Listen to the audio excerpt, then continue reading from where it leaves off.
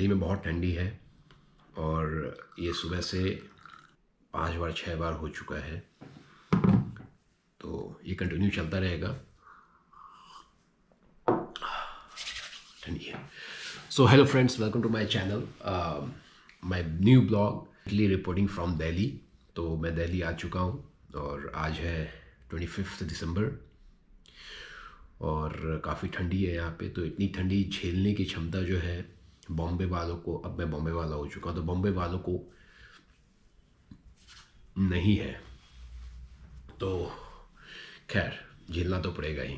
काम है, काम तो करना है ही। मैं आपको कुछ शेयर करना चाहता हूँ, मैं सोचा आपसे शेयर कर लूँ।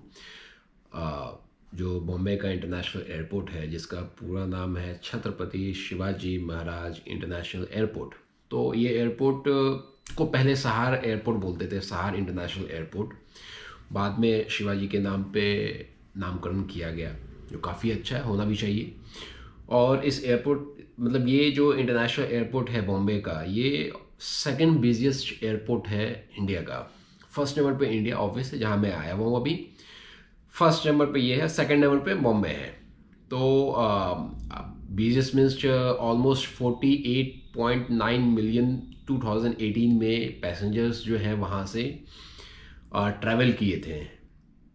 तो ऑब्वियस है, इतना क्राउड को हैंडल करना इज़ अ चैलेंज और वो बॉम्बे एयरपोर्ट ने काफ़ी अच्छे से, काफ़ी सालों से हैंडल कर रहे हैं इंक्लूडिंग सिक्योरिटीज़ जो होना चाहिए फॉरेनर्स के लिए इंडियंस के लिए, आपको पता है। मेट्रो शहर के जितने भी बड़े बड़े एयरपोर्ट से टारगेटेड रहते हैं कहीं ना कहीं अनवॉन्टेड पीपल से। तो वो है। उसके अलावा ये है कि रिकॉर्ड भी है। हर घंटे almost around forty flights take off या टेक ऑन होते हैं इस एयरपोर्ट से। तो दिन के ऑलमोस्ट रिकॉर्ड जो था 2018 का रिकॉर्ड था 1007 ओवरऑल पूरे दिन में 24 घंटे में फ्लाइट्स जो है अप एंड डाउन किए हैं तो एक दिन में 1004 फ्लाइट्स को हैंडल करना और उनके पैसेंजर को हैंडल करना इज़ नॉट इजी टास्क काफ़ी बड़ा टास्क है वो। तो ये खूबी मतलब ये ये सब है, ये सब मैं सोचा आपसे शेयर कर लूँ। तो ठीक है, बाकी चलिए एयरपोर्ट चलते हैं और देखिए कैसा रहा trip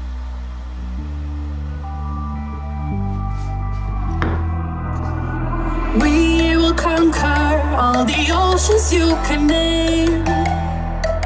No, we won't take any blame.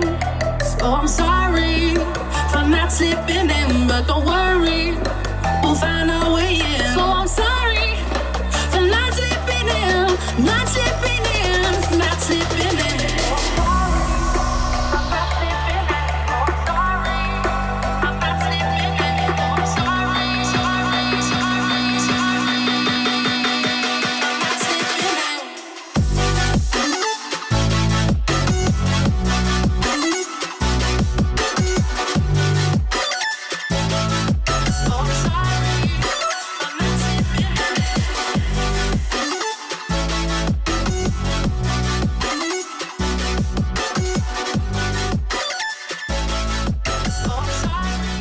बार की तरह लेट कुछ नहीं हो सकता है। सुबह निकला था एक घंटे पहले कि चलो बैठ गया, कुछ चाय नाश्ता करेंगे।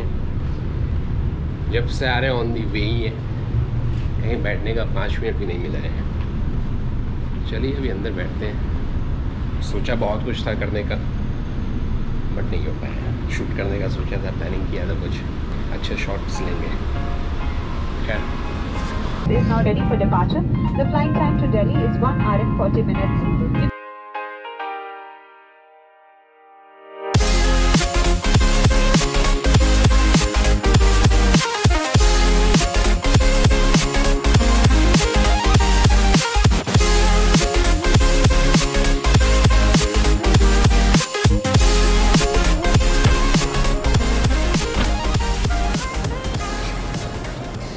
इतना ब्यूटीफुल है कि मैंने कुछ सीन्स जो है दोबारा के पीछे लिया है। काफ़ी अच्छा लग रहा है। ब्यूटीफुल लग रहा है यह स्वागतम है।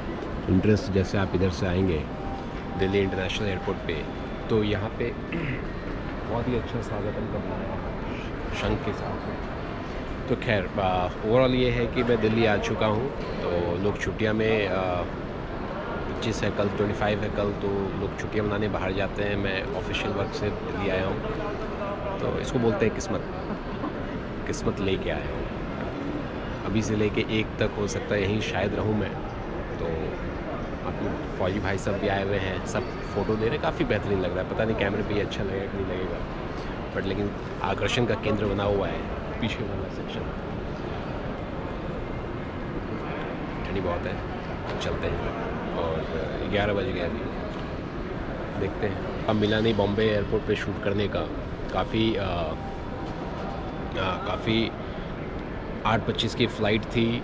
साढ़े पाँच बजे उठ गया। मैं एकदम फुर्सत में था कि आज तो जल्दी पहुँचना है और कुछ ब्लॉगिंग भी कर लेंगे अच्छे तरीके से। सोच के रखा था। बट अनफॉर्चुनेटली पता नहीं कैसे डिले हुआ, क्यों डिले हुआ, समझ में नहीं आया।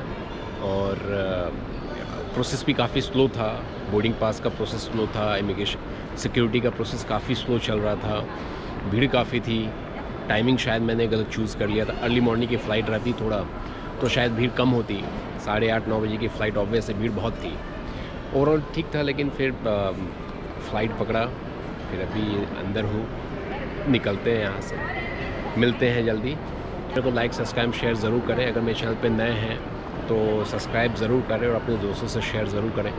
टिल देन टेक केयर शब खैर गुड नाइट नहीं बोल सकते। Good day take care